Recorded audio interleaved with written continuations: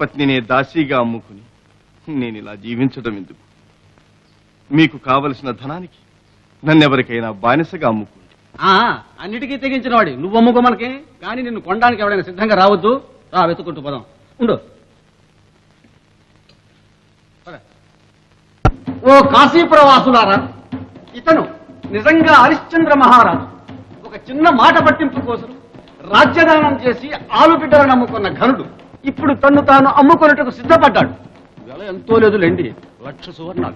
లక్ష సువర్ణాలు. లక్ష సువర్ణాలు. లక్ష సువర్ణాలు.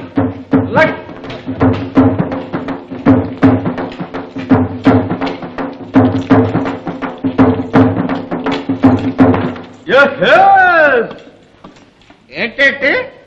దాడి సోళ్ళు అమ్ముతున్నావు ఏంటి? మధ్య నువ్వెవడో మహా కొనే